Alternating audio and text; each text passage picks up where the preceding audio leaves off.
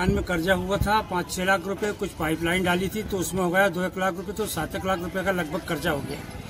और वो इसी कर्जे से परेशान था, सोसाइटी का मार्केटिंग का देना है, और समूह का देना है, और किसी अन्य गाँव में भी देना था पैसे। अब वो सब लोग पैसे के लिए तो परेशान कर रहे हैं, सोयाबीन पूरी सड़ चुकी, सोयाबीन बची नहीं बिल्कुल। एक ज़मीन दो तीन एकड़ अतकरी हुई थी, उसमें भी सोयाबीन नहीं निकले बिल्कुल भी, वो भी सड़ चुकी। परेशानी में तीन चार रोज पाँच रोज से बहुत परेशान थे और अपने आप रात को क्या मालूम किस समय उन्होंने फांसी लगा ली कितनी ज़मीन थी? छह एकड़ ज़मीन थी। फ़सल कितने साल से बर्बाद हो रही थी? फ़सल दो तीन साल से हो रही फ़सल हो ही कहाँ रही?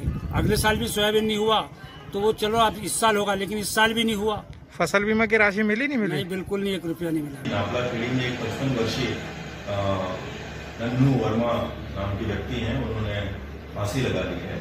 प्राथमिक तौर पर पुलिस ने मार्ग कायम करके इसकी जाँच की है। जाँच में जो तथ्य आ रहे हैं उसके मुताबिक अभी इस घटना के कोई विशेष कारण नहीं है। आ, उनके घर वाले ये कह रहे हैं कि इन्होंने कुछ कर्ज लिया था मकान बनाने के लिए और बंटवारे संबंधी इनका कुछ विवाद था।